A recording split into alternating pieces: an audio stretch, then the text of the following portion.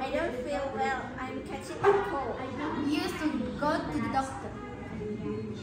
I don't think that's a good idea. Just take a good uh, address and drink a lot for water, Jessica. I agree with Patricia. You should go to the doctor.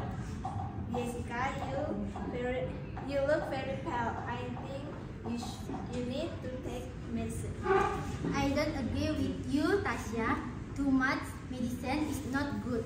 Patricia, just take a rest, drink a lot of water, and eat only healthy food.